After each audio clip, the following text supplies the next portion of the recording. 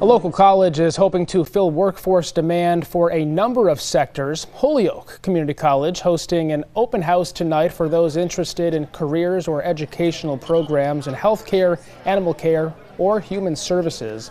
Those in attendance had the chance to tour the Center for Health Education and get a first-hand look at HCC's simulation labs, painting a picture of what healthcare workers do on a daily basis. Coordinator who works with When you look at healthcare right now, the whole model of healthcare is changing, um, and the population is aging.